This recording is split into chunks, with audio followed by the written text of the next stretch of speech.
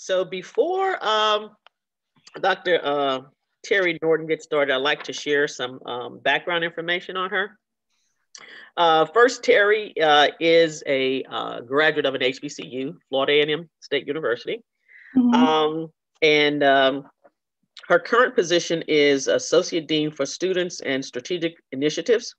And she's also a professor uh, in the Civil and Environmental Engineering Department at Bucknell University. Um, prior to Terri transitioning to her new leadership role, she um, was uh, a um, professor um, at the University of Nebraska Lincoln. Uh, she was there for about 11 years. Um, and while at that institution, um, a lot of her research interest uh, dealt with evaluating the effects of hazards, hazards on civil structures, debris management, and disaster reconstruction. Uh, she was a Fulbright research scholar in Japan uh, as it relates to her research on debris management and reconstruction following the 2011 Great East Japan earthquake and tsunami. Uh, she has uh, obtained funding from a number of governmental sources, um, and she was also elected uh, to be a part of the Earthquake Engineering Research Institute Board of Directors and is an invited member of the National Academies of Sciences, Engineering, and Medicine Resilient American Roundtable. Um, Terri is also uh, one of the uh, initial members of our um, MATC cadre uh, when we started back in 2010. And she uh, spent a lot of time participating in all of the MATC conferences uh, as it relates to HBCUs, MSIs, HSIs. So she's very familiar with this program and, and, and certainly knows the impact of it and have also had several of her students uh, attend. So with that, uh, Dr. Norton, we welcome you to uh, present uh, your uh, presentation to us today. Well, thank you so much, Dr. Perkins. And thank you, Dr. Rilett, for inviting me back to the MATC Scholars Program. It has been a couple years, so I am excited to join this group again. Um, I hope you all will humor me. I'm going to present something that's a slight departure from transportation. Um, however, my background is civil engineering, structural um, emphasis, but my work primarily focuses on disaster recovery, disaster resilience. Um, and so I'm going to share some research experiences and student immersions um, from that lens. So the title of today's talk is Building Solidarity through, excuse me, during disaster reconnaissance with student immersion and field studies. Um, before I get into my talk, I want to identify this photo here um, in the tent cities, um, a part of one of the reconnaissance missions I went on with some graduate students um, in the Virgin Islands. And so that was our tent city. Um, there were no hotels available during that time following um, that particular disaster event. And so we were camping out, and that was actually my first time camping. so ask me questions about that later, I'd be happy to share. So in my title, I'll talk about solidarity. So what is solidarity? I'd like to hear from you all in the audience on the Zoom. I'm gonna do a Zoom chat. So when you hear solidarity, I want you to type something in the chat, but don't send yet. Um, I'm gonna give you about 20 seconds to think about what is solidarity. Type it in the chat, and then when I hit go or say go, I want everyone to storm the chat by entering what they believe solidarity is. So I'll give you a couple seconds to go ahead and think about what is solidarity.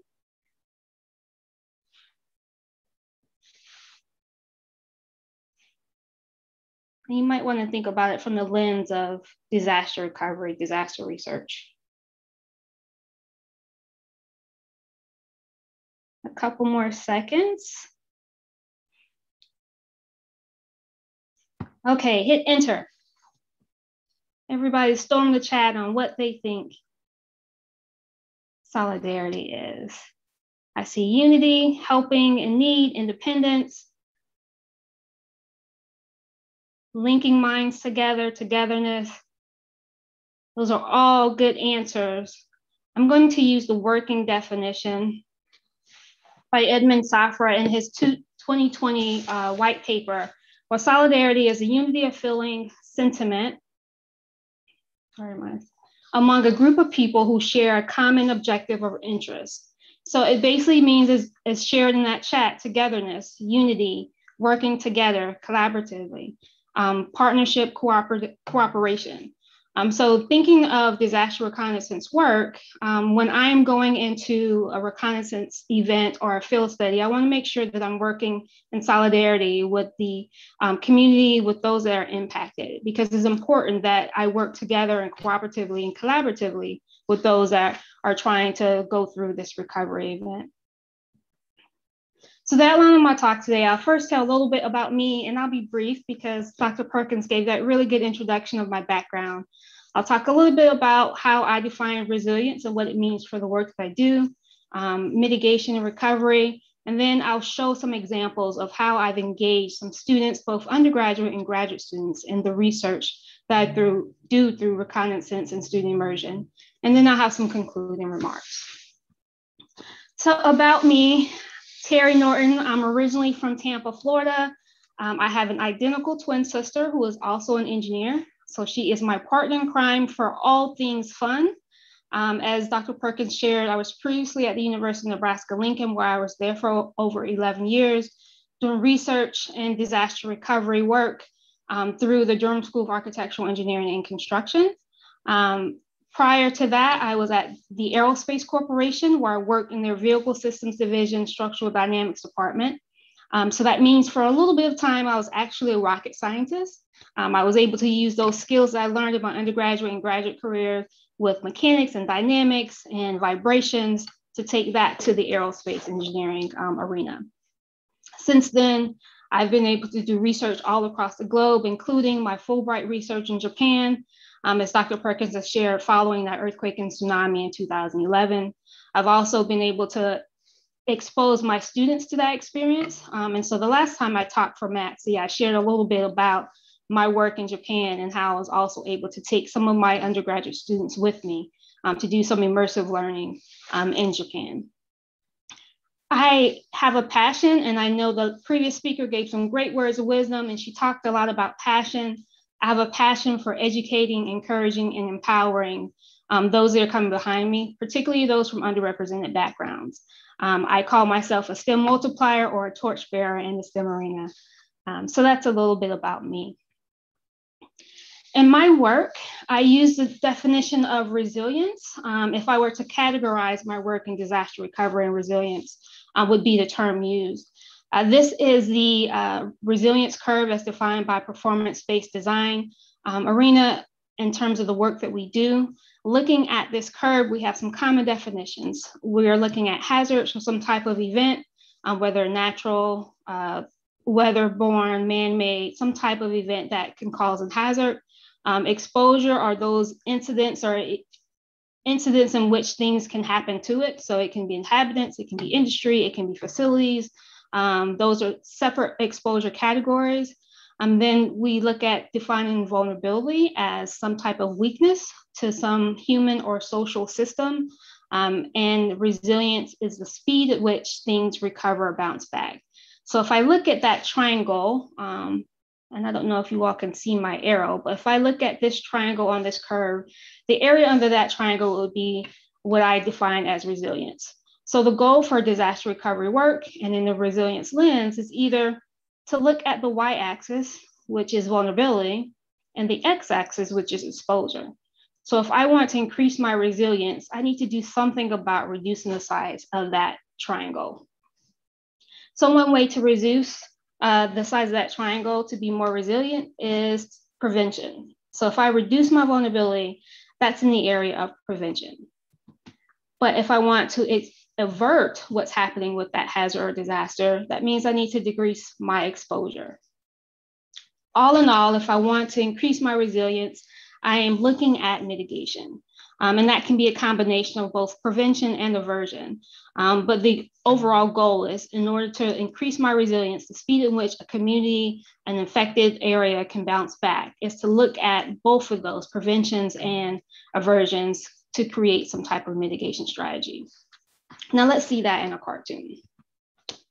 In this cartoon shared by one of my colleagues at Tohoku University in Japan, Um, if my hazard is this boulder sitting on top of this hill, that vulnerable population is the blue man. There's a possibility there may be some type of disaster event because of that boulder. So if that boulder were to roll down the hill, that means my disaster is a function of the hazard itself and the vulnerable population. If I am prepared, if a community is prepared, that means that they're able to resist what's, what that potential hazard may be. So preparedness is an important portion of our disaster recovery and disaster management cycle. Response in the event that the vulnerable population was not able to respond in a way that they wouldn't be injured or hurt or um, a structure would be damaged, then we have to have responders there in order to uh, mitigate the incident. And then recovery means that the vulnerable populations are now doing better. They're getting back to where they were, in some cases back to normal or back building back better. Um, but there is some recovery that can be short term or long term, depending on the type of disaster events. In that recovery phase, um, we as researchers, as disasters researchers, look at how we can mitigate future disaster events. That, but, that can be by either some type of structural mitigation as seen here, building some protective structures around vulnerable populations so that future hazards don't become disasters. Or it can be by mitigation in terms of land, land use. Our urban planners are really good at determining what type of areas or buffers are needed to limit the amount of disaster exposure to a particular hazard.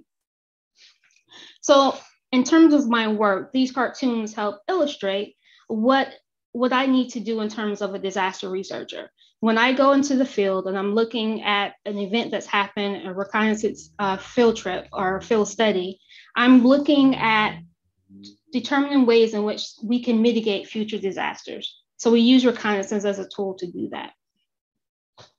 So my journey in terms of disaster reconnaissance work started as a graduate student. Um, as Dr. Perkins shared, I graduated from Florida A&M University um, or the Florida State Florida A&M University College of Engineering. Um, and Dr. Chima, I think he's on the line. He's one of my uh, colleagues from grad school. So my first experience in disaster reconnaissance was as a graduate student. I went to um, Molise, Italy after the 2003 Molise earthquake. Um, and that was an opportunity for me to learn experientially outside the classroom of what happens when an earthquake impacts a community, what happens to our structural systems when they're vulnerable to earthquakes. Um, and then I went on to work with some colleagues at University of Florida studying the 2005 Hurricane Charley event. Um, and that was also an, uh, another opportunity for field studies. Fast forward, these pictures here show me in the field in my home state of Florida, um, and this was following 2017 hurricane season.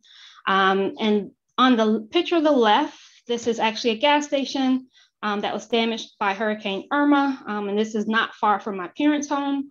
Um, and then the picture on the right is some damage um, from some tree damage that was due to the wind hazard from Hurricane Irma, um, also not far from one of my relatives. So the scope in which my interest in terms of disaster reconnaissance is close to home because hurricanes happen in Florida.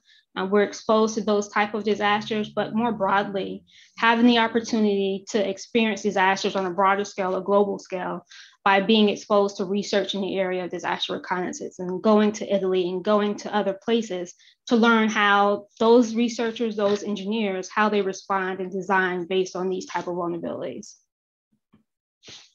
So the process of doing a field study, and I'll talk a little bit about the process first, and then I'll share, as I said, some experiences. When going in the field, um, these are the basic steps that we use um, when starting a field study. Understanding what disaster or hazard we're going to investigate, what size response team we're putting together, whether it's a small local team um, that we can coordinate with, or if it's a larger, more formalized reconnaissance team that may have different actors from academics to uh, urban planners to uh, practitioners to government offices, um, that would be a formalized uh, reconnaissance team. Before going to field, we have to make sure that we have clearance and access to certain areas. Um, depending on the size of disaster event, the level of clearances may vary. And so it's important that we do that homework before getting to field because there's nothing worse than getting to a reconnaissance trip and not having access to the area or facilities that you really want to study or you really want to have an impact on creating some mitigation strategy for. In terms of actually traveling, um, this goes without saying, make sure you have the proper equipment and clothing. Um, if it's international, make sure you have your, your passport and immunizations that's all required. Um, and travel arrangements, work collaboratively with your team and local travel agencies because sometimes getting around, especially international sites, um, can be challenging. So you want to make sure you familiarize yourself with the destination prior to going, and also you make arrangements for how to get around and how to have access to your field sites. And then once you get there, it's all about data collection um, and then mm-hmm. reporting at the end so that you can disseminate your work in a way that it not only helps create new mitigation strategies, but it also helps a community, which is most important, helping that community recover. For opportunities that you would like to go on for a disaster reconnaissance trip, you may not be able to go physically. Um, there are uh, resources where you can do virtual disaster reconnaissance. Um, the EERI, the Earthquake Engineering Research Institute, has a virtual portal or clearinghouse in which they have a lot of disaster events that as a, a, researcher, you can use data sets that are provided by other researchers who are able to go to field. Um, you can collaborate with researchers across the country that are studying the same type of disaster that um, you're interested in. And also you can use as a way to learn more about a disaster event. So this is EERI's portal, um, but there's a broader portal by Design Safe CI um, for natural hazards engineering research infrastructure. And this particular portal has a broad range of hazards and all across the globe, from earthquakes to tsunamis to hurricanes to flood events. Um, Design Safe CI is a great resource for collaboration, for sharing research, um, for getting data for research studies. Um, it's it's a, a, platform that's multifaceted. It's um, it's supplied by or funded by the National Science Foundation, um, but it also has researchers from academics to practitioners, as I said, in governmental offices um, that are looking to do disaster work. One way in which we collaborate in the field is by Slack. And I'm sure in this remote environment, this learning environment that we've all found ourselves in, many of you may have used Slack um, for communication tools or software for your classes. By a show of hand, I can't see. Maybe put in the chat if you've used Slack before. Um, it's a, a, tool that's used um, pretty frequently in our disaster recovery work. Not only can you chat in the feature, but you can share data files, you can share videos, um, you can uh, communicate with your team more broadly. Um, and so this is a, a, a, Slack channel that's provided by Design Safe CI, but there are other Slack channels, as you may know, that are created um, that can be used for collaboration in terms of the work that you do. Um, and this is one that I particularly use for when I'm going on field studies. The Converge network, um, I talked a little bit about Design Safe through um, NHERI that's funded by NSF. Um, Converge facility was a, a, new facility that was created, I believe, back in 2018. It was a way in which um, to bring together all of the natural hazards um, research institutes and facilities that were funded by NSF. Um, from the Rapid Reconnaissance Facility on the left to the infrastructure facility, which is NHERI, um, to the extreme, the extreme events reconnaissance um, teams and networks. Um, there are four listed here, and it also brings together engineers and social scientists and practitioners. Um, and so Converge is, is, a, is situated at University of Colorado Boulder, um, but it engages in a way that it connects all um, entities that are doing disaster reconnaissance work, whether you're a social scientist, whether you're an emergency manager, uh, you're a structural engineer or civil engineer, um, looking at built environment, infrastructure, um, you name it, um, anything that um, deals with disaster recovery or some type of exposure to disaster, it may be connected to the Converge network. Um, many of our research facilities at some of our universities are also connected to Converge. Um, listed here in the center of that circle are four of the EERs, four of the networks, but there are actually seven in total. I think not listed here is the systems, um, extreme event network, and also the sustainable materials is also not listed here. So another definition, we're looking into disaster recovery and working in the area of impacted communities. what is cultural competence and why do I need it? Um, when you think of cultural competence, we're going to do another uh, chat storm. Cultural competence, what is it? Take a few seconds and throw it in the chat.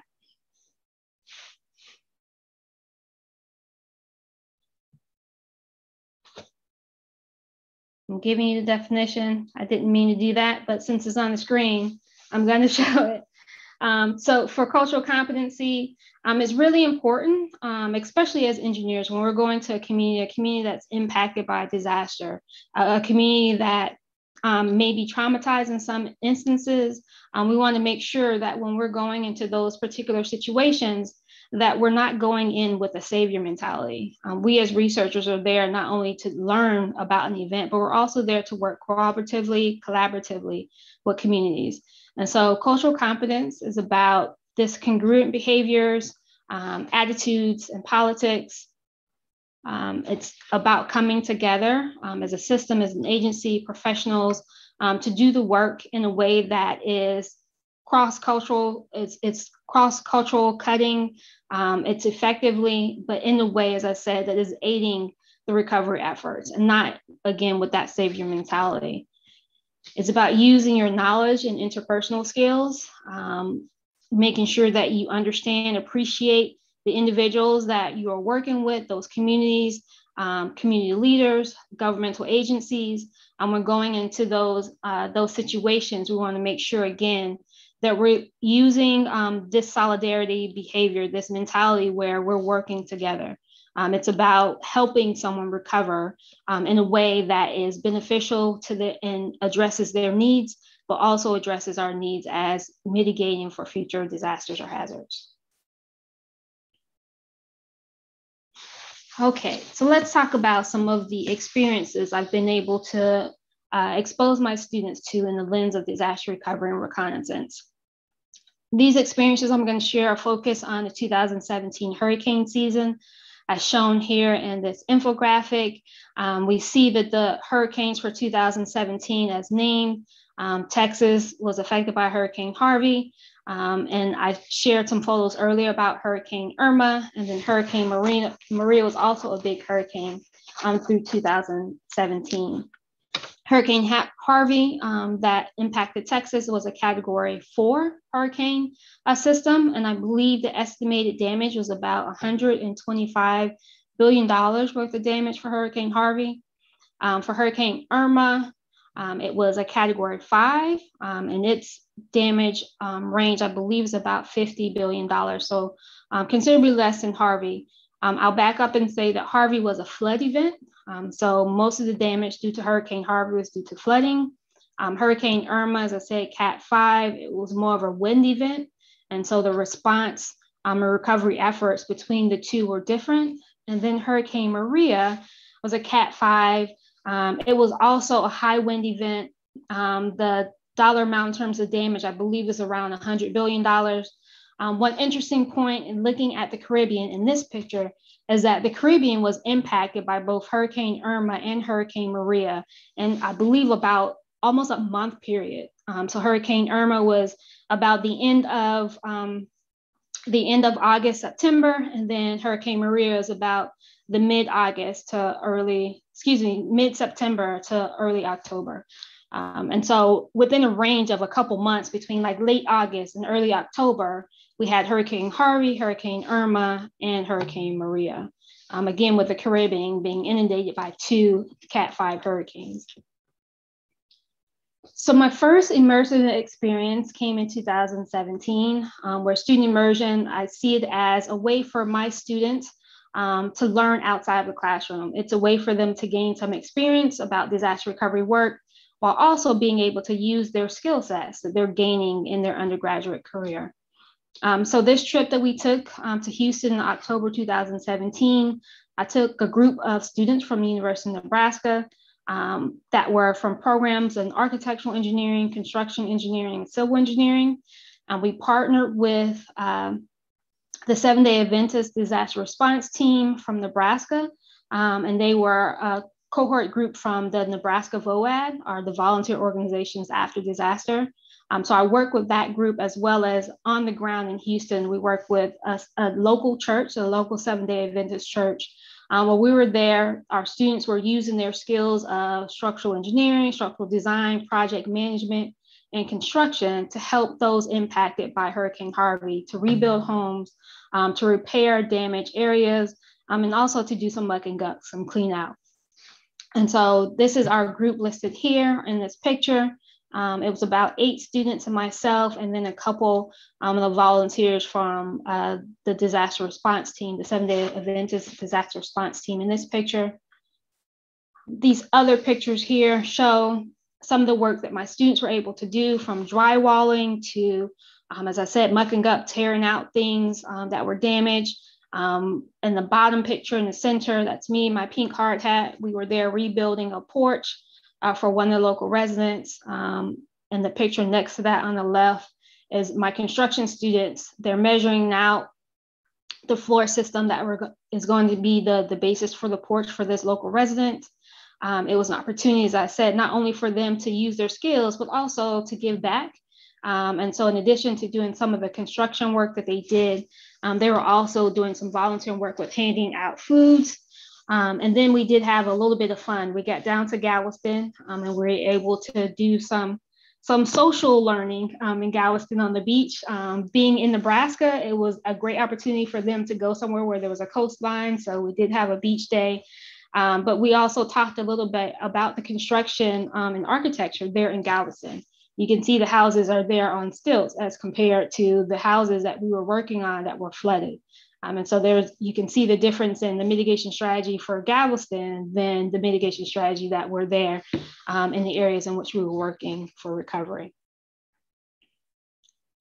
When I transitioned to Bucknell, um, I learned that my interest in disaster recovery work and exposing students to disaster recovery work was something that they were already doing at Bucknell. Um, they have a program called Building Global Solidarity at Bucknell, where they were working and taking students on immersion trips and service learning trips to communities like Nicaragua. Um, and they were going, I think, for about 10 years or so, they were going to New Orleans um, doing the Katrina response team, where they would go each year working with uh, St. Bernard Parish and recovery, um, doing homes and urban gardens there. Um, and so when I was able to join Bucknell, I was able to take some of my experience with disaster recovery work um, and expose some more of our students, particularly our engineering students, into this work. Um, and so I planned the trip and led the trip that took two teams um, to Houston as well as a team to Puerto Rico. Um, unfortunately, because this was during the, the 1920 academic year, our team that went to Puerto Rico, they experienced the earthquakes that happened in that January. So um, they didn't get their full immersion trips because we had to fly them home, but um, it was an opportunity for them, at least to, they were going there for hurricane work and they were close to earthquake work. Um, so we're hoping to get back down there a little bit later.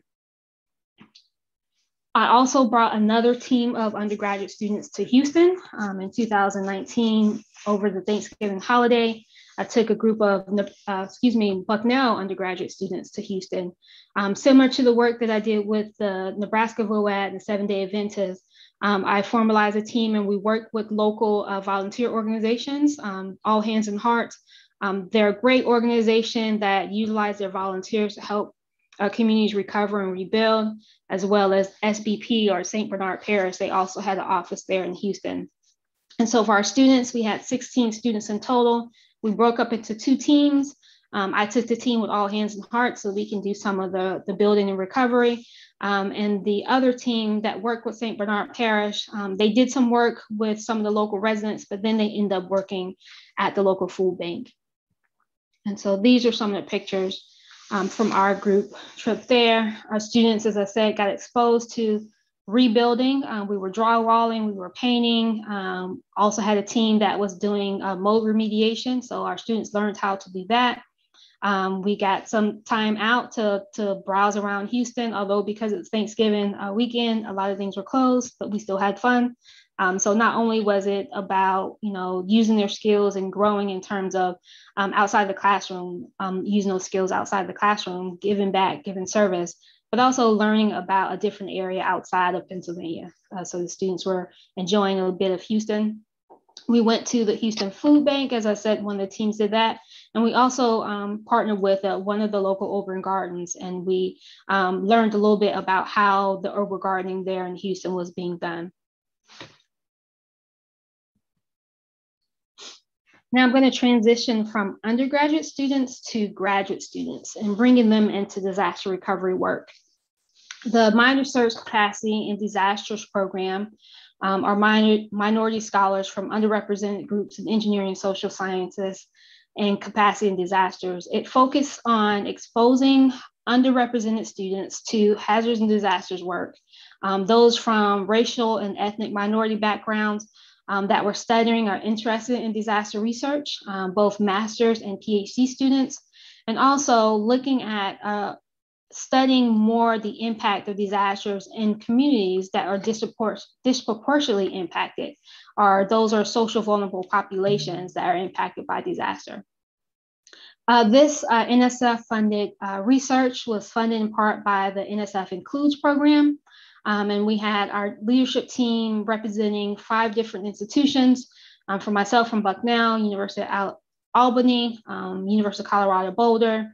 Um, we had uh, University of Puerto Rico, Rio Piedras, and then also we had uh, one of our researchers that, that was at UNO um, transition to Virginia Commonwealth um, throughout uh, this teamwork. Um, and we also had um, partnership with Norma Anderson from the Bill Anderson Fund, uh, which is also a scholars program that I had the opportunity to help develop and create um, for graduate scholars studying hazards and disasters research. I'll talk a little bit more about BAF later. But this is our team leaders. Um, for Surge, um, we invited uh, 20 research scholars, as I said, master's and PhD students from different disciplines our approach for Surge was a transdisciplinary research approach, meaning that we were bringing together disciplines, different disciplines, coming together to formulate a problem to come up with a common solution um, for research. So we had representation from engineering, architectural engineering, civil engineering, we had urban ecologists, we had environmental scientists, we had emergency managers, um, we also had social scientists, um, so our team was very diverse and we were looking at the impact of disasters from all of those lenses to come up with our problem statement and how we were going to respond um, and create solutions for communities that were impacted by disasters. If you're interested in learning more about Surge, you can check out the website, um, but I'll just share a little bit about my role as a leader on this, this program was um, to create our boots on the ground program. And that was our reconnaissance, our field reconnaissance um, arm of Surge. And so that was to bring disaster management, our hazards and disasters research, as well as community involvement together. Um, it was an opportunity for students, as I said, in that immersion to take the skills, their unique skill set that they've learned and that they're researching in to bring it to a disaster um, impacted area and work with the community collaboratively to determine a solution for recovery. Um, so we conducted field studies um, based on the 2017 hurricane season um, as in those pictures I shared earlier.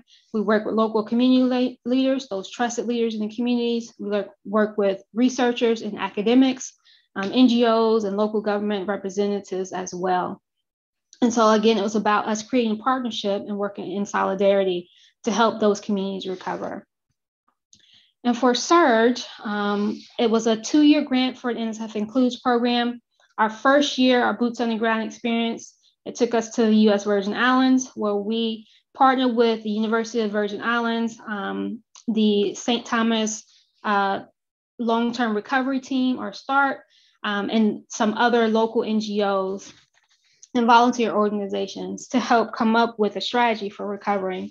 So this was, as I said, a two-year um, field study. So the first field study was mostly about observation. The second year, once we had created those collaborations and partnerships, we worked together to come up with projects that were going to help aid in the recovery. And so for our team, we broke up into teams of four. Um, and our projects that we um, came up with working with those, um, those local officers on the ground, whether it was academics or NGOs or volunteer organizations. One was with All Hands and All Hearts. Um, as I said, that that's a global volunteer organization. It was an opportunity for us to continue to do some service and rebuilding. Uh, we also worked with the University of Virgin Islands um, doing some uh, community gardening work. Um, we did some infrastructure data mapping, understanding culverts, and then we worked collaboratively with some researchers at the University of South Florida to do some ethnographic uh, data collection. These are some pictures from our first trip in 2018. Um, we were there, as I said, meeting with um, academics, meeting with uh, NGOs and governmental officials and practitioners, learning about um, the impact of those two major hurricanes in um, the Virgin Islands, particularly St. Thomas and St. John. Um, our students had the opportunity to do some service as well as rebuilding, but also replanting some of the mango trees that were damaged there in St. Thomas. Um, and we also were able to go around and learn more about the culture there in the Virgin Islands.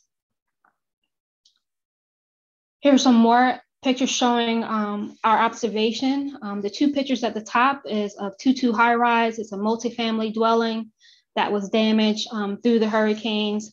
We'll see that the main structural system um, is still there, but some of the uh, curtain walls, and interior walls were damaged by uh, the, the windborne um, missiles or, or, debris, also by um, just general from wind and wear tear damage. At the bottom picture on the right um, is a local elementary school that was had so much debris that was that was blown onto the roof. Some of the damage uh, roof structures were damaged.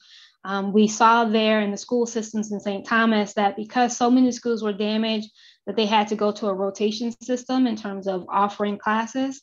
Um, in addition, um, the environmental uh, issues that were seen after the storm was increased growth of algae, um, this algae bloom that really um, affected the the environmental system of the waterway along that coast. Um, so there were some areas that were so covered with algae that it was really impacting um, the uh, the sea biology, some of the, the fish and all the other sea life in that area were impacted by this overwhelming bloom of algae. For our second trip, um, prior to going back to St. Thomas, um, because one of our researchers, our team leaders, is from the University of Puerto Rico. We did have the opportunity to go to San Juan and look at the impact of that hurricane season in Puerto Rico.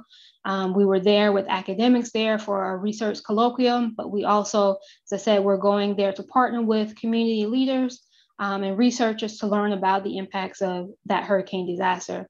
Uh, so the picture on the top right, um, they're using gabions to reinforce the hillside because of there was a landslide after the storm that impacted the roadway. And so um, on our, our trip to get to one of our sites, uh, we pulled over to see how they were using those gabions to reinforce the stability of the hillside so that the road would not fall down into the ravine. Um, on the bottom left is a picture of the local community center in San Juan, uh, where one of the community leaders is showing us a solar light. Um, and that solar light, if it's blinked on red, that means that the resident in that home is need of assistance. Or if it was turned on green, that meant that everything was okay. Following our trip to Puerto Rico, we went back to St. Thomas. Um, as I said, in those four teams, um, broken up into ethnographic work, um, infrastructure mapping, uh, community gardens or urban gardens. And then the last team in which I led was using um, the, the skill set that we had from um, working and volunteering service with All Hands and Hearts. Um, like in Texas, where the students, we were there for work, but we also had the opportunity to be immersed in the culture there. Um, so we had the opportunity to work with some of the local community leaders to, to host a dinner. So it was a team dinner at one of the local restaurants. Um, but we had representatives from the St. Thomas Recovery Team there. We had representatives from the university there, as well as representatives from some of the local governmental offices. Um, for the team that I led um, with All Hands and Hearts, um, because civil engineering and structural engineering, I, would like to be able to give back to a community that I'm going to.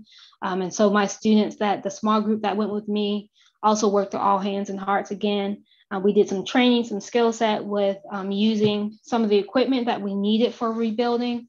Um, for that particular trip, we didn't have to do any muck and gut. We were basically just doing some finishing with painting um, and finalizing some structures there. but we were on an island. So although inside it was like a lot of hard work, we could step out to the patio and see um, just how beautiful the water was from our view from the particular home that we were working on. So in terms of Surge, um, this experience for students, it was a multi-stage experiential learning process. So to go beyond just student immersion service learning, because for Surge, it was for graduate students, we were giving them the opportunity to use their skill sets, things that they were studying, their research um, in the area that was impacted by disaster, but it was also about learning how to engage with communities, how to set up meetings with community leaders and national and national government offices, um, also to be able to work collaboratively across disciplines. Um, and so I said that be, prior to the trip, like the pictures I showed in Puerto Rico, we did some kickoff meetings. The first one was virtual, but the second was actually on site. Um, we did some training, some cultural competency training, some reconnaissance training. Um, and then the students at the end of each year, they had the opportunity to create a publication, and that was presented at the Natural Hazards uh, Workshop, which is a conference that's held annually in Colorado. So not only were they doing research, but they got research publications out of it, which will help them in their academics career moving on, especially for those PhD students. So in terms of disaster reconnaissance and student immersion, um, the opportunities to provide, uh, for me, the opportunity to provide students um, with the skill sets needed to go beyond their academics, to go outside the classroom, to engage in a disaster um, environment, but be able to work in solidarity with communities is really important to me. And so with the SURGE program, those graduate students, they were able to gain tangible experience, field training um, in the areas of hazards and disaster mitigations. Um, they were able to work to build relationships, collaborative relationships with academic researchers, with disaster experts, um, and practitioners um, that will help them in their future careers, whether they go into academia or they go into industry or practitioner. And then the service project for the undergraduate students. Um, it also provided them opportunity to learn outside the classroom, to learn how they can use the skills and knowledges that they're gaining, say, structural mechanics or structural engineering, or even transportation when we're looking at um, the, uh, the urban infrastructure mapping in St. Thomas, using those skills to help create a better community, to help communities recover, um, is what this work um, is all about for me. Um, so before I conclude, I want to share a little bit about the Bill Anderson Fund. As I said, um, Norma Anderson was part of the leadership team for SURGE. Um, the Bill Anderson Fund is a nonprofit organization similar to um, the work that's done here at MATC. It provides an opportunity for professional development training and mentoring um, for students, graduate students, particularly PhD students that are looking to go into hazards and disaster research. Um, they also have a disaster dash every year. Um, the program is named after Bill Anderson, who was a National Academy researcher, um, social scientist, um, whose work was really focused on making sure that those from underrepresented communities, um, those impacted by disaster, that they were the focus, um, particularly children that were impacted by disaster. And so if you'd like to learn more about the Bill Anderson Fund, um, they have a website. Um, they also have their upcoming 5K Disaster Dash. Um, it's a virtual 5K this year. So if you're interested in running virtually, please feel free um, to let me know and I can share that link with you. So I'm gonna stop there and allow the opportunity for questions. Um, this is my contact information. At any time, if you'd like to reach me, you can email me, but I can also share my contact in the chat. Well, thank you, thank you, thank you. Um, folks, we are opening the floor for questions.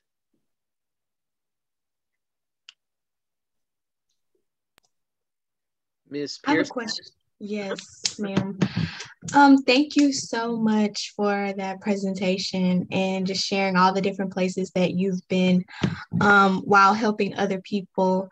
So I was, um, I found I was really interested in your trip to St. Thomas. Um, so did you all come up with your background? What were some other um, well, okay, so I know you said that you guys don't really come there with the savior mentality, and I understand that. So, were there other methods that were uh, that was explored as far as like how to make sure that this never happens again? Um, that you wanted to share more about?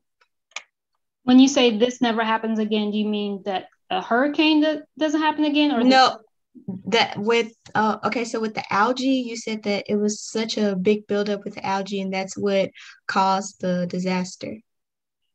Yeah so the al- the buildup of algae um, was impacting the environmental um, system there. Unfortunately my background is not environmental but what they were doing with the overwhelming amount of algae there they were looking at ways in which they could recycle and reuse it for other things so in in the lens of trying to clean up the coastline, they were using that algae for almost like fertilization in certain areas. Um, okay. So that that was particularly for the algae. But in terms of going to St. Thomas and working with um, the St. Thomas recovery team would start and the academics there at University um, of Virgin Islands, we were there understanding what their needs were um, so we didn't go there with a research plan. We went there to engage and um, build networks in collaboration with them and to learn about what their research needs were. Um, because we could come up with our research um, idea and go down there and think that we were going to, you know, do something based on what we saw um, yeah. on TV or on screens. But it was important for us to go there and go into meetings with those individuals to learn a full scope of the, the problem and to see it from their eyes, to see what the real problem was. Um, and then from there, work with them to come up with a problem statement as well as a solution that we're trying to do for research. Okay. Um, one other question. Have you ever had a situation where you were um, working out of the country and you the solution took longer than the amount of time that you all had planned to be there and um, how did you all solve that problem? So I don't think that is a problem that's unique to going outside the country. I mean, that's the nature of research. You start right. with idea and timeline in mind, and sometimes it takes longer. Sometimes you right. have to ask for an extension for your research funding, or you have to say, this is part of my future work. Um, as a graduate student. Um, so there are always instances where you go in there with a plan and a timeline, and it may be that the data that you were planning to use for your research, you thought you were going to get it automatically by just connecting with the local representative there. But it took, you know, weeks or to get clearance to have a meeting with that individual before you could even get data. And so that put your timeline back by three to four weeks. Um, so things like that happen. Um, if you don't schedule into your timeline some type of float time, um, for construction, those critical path methods where you have some type of float time in your timeline. If you don't automatically have that, then there may be instances where you know you don't get everything done that you hope to get done. Um, but you have to make sure that your milestones are set such that um, you your research is in a way that there is an endpoint, um, even if it's not the final point that you were hoping to get. But you do have some type of resolution or milestone endpoint that you can get to and call what you've done the first stage of a complete work. Thank you. Mm-hmm. Shika, did you have one? Um, a question? No, ma'am. Okay. Uh, Terri, I do have uh, two. Um, one, what's the maximum amount of time that you guys have um, spent out of the country at a one given trip? That's the first question. Then the next one is, um, while you were at University of Nebraska Lincoln, and also while you're now at Bucknell, did um, you reach out to Engineers Without Borders chapters to collaborate because they do some of the same types of projects that your program is doing? Yeah, so the answer to the first question for the undergraduate trips, um, mm-hmm. the longest trip we've been on with undergraduate students has been, for me, has been 10 days. Uh, the trip that I took students to Japan was about 10 days. Um, the other trips, like to Houston for both ne- Nebraska students and Bucknell students, those were like a four day trip. Those are shorter trips. Um, for graduate students, those trips can be a little bit longer. Um, for our surge trip, the first time we went to St. Thomas and um, St. John and the Virgin Islands, I think it was like a week and a half. Um, but we did have some students, um, some graduate students that connected with the researchers there. So by the second trip, they were they went ahead of us, and so they had a couple weeks, you know, to work collaboratively with those researchers there ahead of us. Um, so it depends on um, the research problem or project that the students are working on. But in terms of just the immersion experience for undergraduates is about a week. Okay. And then a second question about Engineers Without Borders. Um, unfortunately, at Bucknell, there isn't an active Engineers Without Borders chapter. Um, what they had is Engineers in Action um, that we're working with. So I'm familiar with Engineers Without Borders at Nebraska, but in Bucknell, they didn't have that. Um, and so we were working outside of that group. Um, so yeah, we we didn't connect with them, um, nor did we connect with them when we were in Houston. But we did go to. Sorry, I didn't come to Prairie View while we were there in Houston, but we did go to um, uh, Texas Southern. No. Shame on you, but anyway. no, um, we did go to a school there, but it wasn't it wasn't Prairie View, so I apologize. No, um, I think when we reached out to you, like the schedule didn't I apologize. You know, saw Kendall, Kendall, but she didn't see you. We, we know what happened. no worries, no worries. Uh, uh, Chica, it looks like you have a question. Now I have a question. Um, I was just gonna ask about your experience with the um, with the camping, the tent, because I know you said that was your first one. Um, I've never really been either. So how was your experience with that? Okay, so yeah, I I bought these tents, and so because me and my students were gonna at that portion gonna be in tents. Um, I bought these tents online. I did some research. Um, I have a deck on the back of my house in Pennsylvania, and so I practiced. I popped the tent and I went out on the deck to just get the feel for it. But when we actually got there in the Virgin Islands, um, we were in um, Carmel Beach, which was a national park, and so the area in which we had our tent city was in the national park. Um, unfortunately, we didn't have, like I said, electricity or anything there, but being in the tent was okay. Um, I made sure that we had sleeping bags with the extra air mattress or pad because we were sleeping on the ground. Um, we had solar showers. Um, we had porta potties for restrooms. Um, there were animals outside. I remember one morning coming outside of my tent, brushing my teeth, and there was a deer outside the tent. So I was brushing my teeth with a neighbor. Um, so it was it was a unique experience. I didn't think that um, I wasn't sure if I was going to enjoy at all, but I've learned in my um, work, especially in disaster reconnaissance, where you're going in places that are destructed, um, you have to think outside your comfort zone. You have to understand you're not going to have your your normal, um, you know, amenities and luxuries that you would have, say, to go to a hotel or to have running water or to have power. So um, I had already in my mind that it wasn't going to be like being at home, but just being outdoors. I was worried about mosquitoes and things like that, but you know, we made sure we had repellent and all of that stuff. So. Um, and you didn't mention solar showers. What are mm-hmm. those?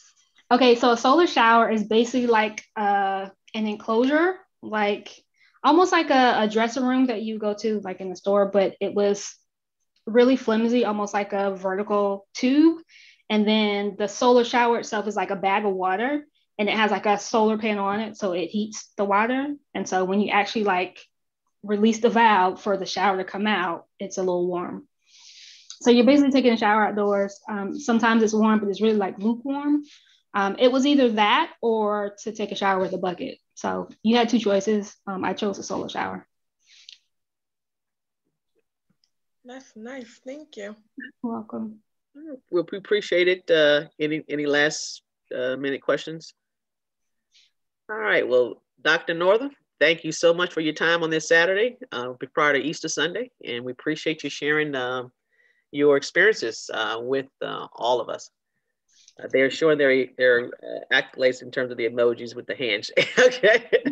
Well, thank you all for taking the time to listen to my experience. As I said, feel free to reach out. Um, I will put my contact information in chat um, if you have any questions or if you're looking to join some research that I'm doing.